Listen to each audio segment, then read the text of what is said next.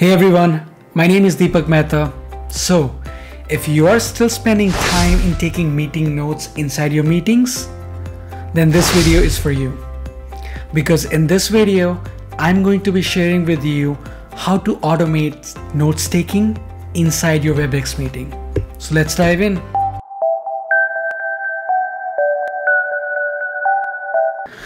To automatically capture meeting notes and action items, your WebEx admin needs to enable WebEx Assistant inside your meetings.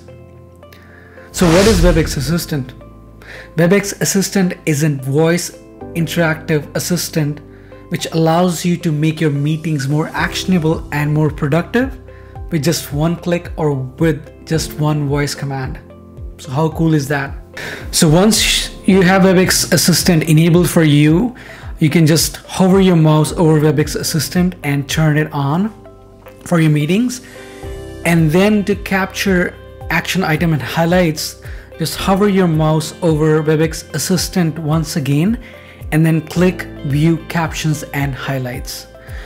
This will open up another window on the right hand side of your screen and this is where you will see the real-time captions getting populated for all the meeting participants inside your meeting.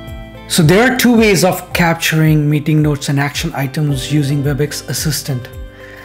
Uh, one way is by just going into captions and as people are speaking, you can hover the mouse over the text you want to capture and click on blue highlight button that would appear on the top. Then go to highlight section and you would see the highlighted notes there. The other method is by giving voice commands like, okay WebEx, please take note, we need another design by next week. Or, okay WebEx, please create an action item completing product roadmap by next week. Now go over to highlights section where you would see action item and notes have been created. So once you've captured meeting notes and action items, in order to retrieve your meeting notes, you can log into your WebEx site. In my case, I log into deepakmehta.mywebex.com, which is my WebEx site. And then I'll go to meetings, then completed meetings and here I will see all the highlights and I can do a search by search bar or I can select any of the meeting highlights and either comment share or delete.